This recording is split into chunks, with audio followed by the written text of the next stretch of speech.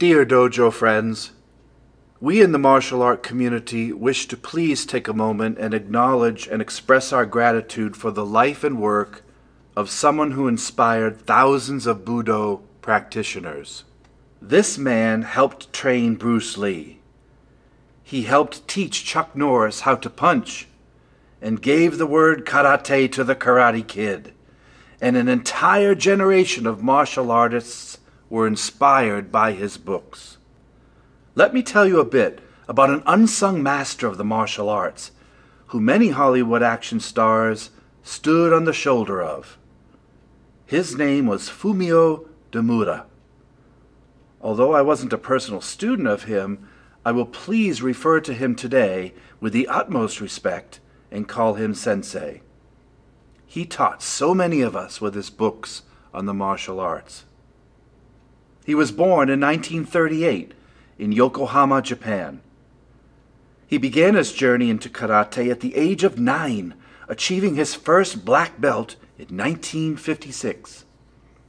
In 57, he switched and began training in Okinawan Kobudo under Taira Shinken.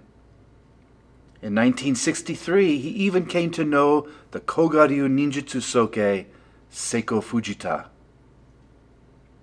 He then met a martial arts scholar, who you'll be familiar with, named Donn Draeger, who introduced him to Dan Ivan, who would eventually bring Demura to America in 1965. Demura was originally schooled in Shitoryu. However, when Demura moved to California with Ivan, he respectively learned all of the Shotokan kata in order to accommodate and instructed Ivan's Shotokan dojos. Demura earned his fifth degree black belt in 1971 and remained at that rank all the way until 1982. Can you imagine someone as active as him spending 11 hard years of training in just one belt rank? and we dare to covet our new belt colors and rank or complain about our unappreciated merits. Demura still reminds us now of our unearned hubris. Those of us old enough to have been around long enough, the internet cherished his books on the bo staff, the sai, the tonfa, and the art of shitoryu karate. To this day, I cannot pick up a bo a nunchaku, a kama, or a sai without thinking of working and learning my way through those crumpled up paperbacks way back in the 1980s.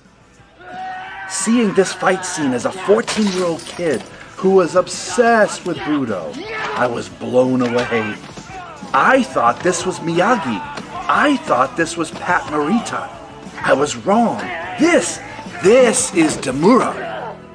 Here is old footage of him as Miyagi rehearsing that same scene in 1983.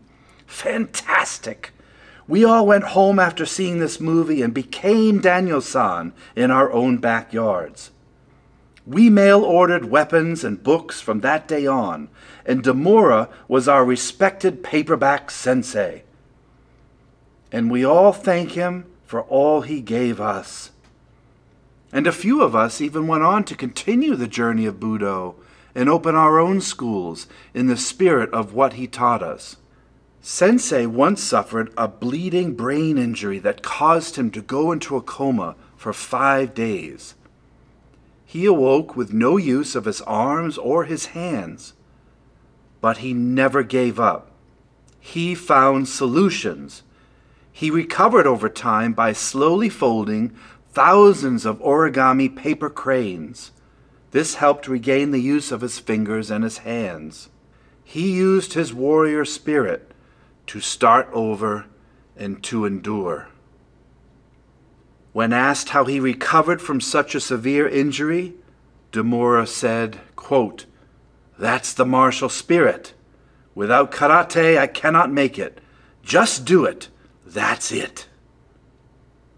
Last night, after teaching a long day of classes at my own dojo with my own black belts, I went home to recover and rest my body and read the daily news, and I was deeply saddened, as many of you were, to see that we lost him yesterday on Monday April 24th, 2023, Demura died at the venerable age of 84.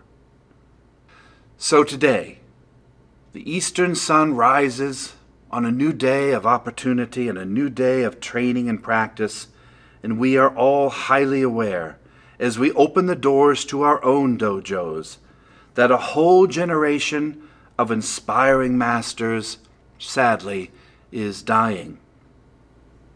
These were our teachers. They are our teachers. Once young, once vibrant stewards of Budo, they now hand the sword and the staff of ancient morals and traditions to us. And tonight, once again, as we go outside and grab our bo, our sai, our kama, we will once again train, and I will hear him from the evening shadows, whispering to all who listen to take hold of life, to venture outdoors, to live, to laugh, and to train. And the faded paperbacks and the faded photographs that look down upon us will still beckon us to chase our martial dreams and to never, ever, ever give up when we feel the pain of practice and the lessons of death and life. Sensei Demura was a true hero to all of us. He was a teacher, and we will miss him.